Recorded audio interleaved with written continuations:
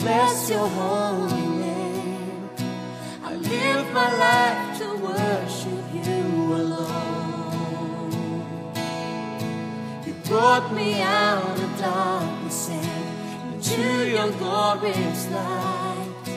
Forever I will sing.